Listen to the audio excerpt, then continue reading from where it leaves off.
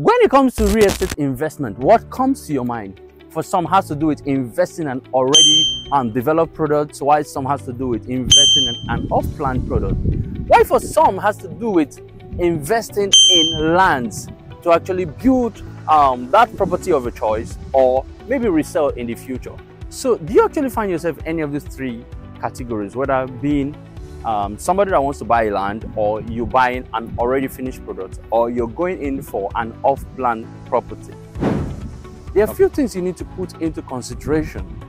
One has to do with the location of the property you're actually investing in, the title of the property you're investing in, the developers of the property you're investing in, and lastly, the returns on investment on that property you are investing. Having put all these criteria into checkmark, we've decided to introduce to you one of our juicy property called the Vista City Estate here along the Monastery Road.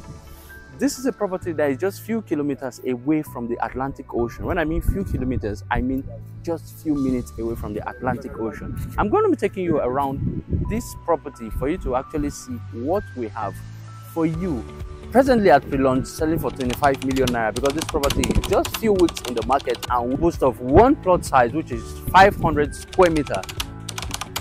This is a property you wouldn't want to miss out from. It's a property for just the elites this property comes with a very good title a certificate of occupancy and one thing i love so much about this property is that it's just few minutes away from the Atlantic so are you Ocean. an investor, a seasoned investor, or you want to go into investment, property investment here in Lagos, Nigeria? Now, this property is for you. Why? Because this property is actually located in a premium environment called the Monastery Road. Here we have the biggest shopping mall presently in West Africa, the Novare Lekki Mall, where we have the ShopRite. And this property is actually are surrounded by lots of development like the Toffee School, we have the Green Spring School, we have the FRSC office, we have the Lagos Business School, we have a whole lot of more. The Sky Mall is also there, and we have beaches like the Ziba Beach, and so on and so forth. Like I said earlier, this property is just few minutes away from the Atlantic Ocean.